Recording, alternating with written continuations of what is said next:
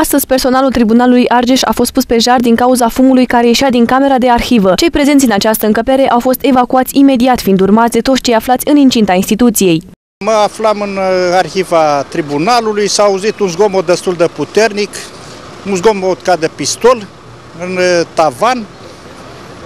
Mi-am aruncat privirea spre tavanul fals, nu s-a văzut nimic. Deodată a început să pognească tavanul.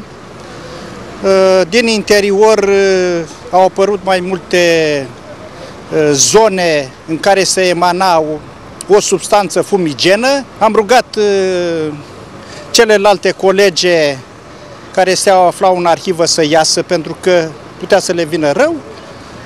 Uh, arhiva s-a umplut la un moment dat uh, de un fum și am ieșit cu toți afară. Din fericire nu s-au înregistrat pagube. Nu sunt pagube, n-au ars dosare, n-a existat flacără. N-a existat flacără, atenție. Numai panică. Ceea ce vedeți dumneavoastră sau ceea ce s-a văzut în zona de demisol, de parter, erau aerosoli nu fum de ars. Este vorba despre pornirea accidentală a sistemului de uh, intervenție în caz de incendiu cu gaze inerte. Nu este vorba despre niciun incendiu. Uh, au fost evacuate persoanele de pe locul de muncă.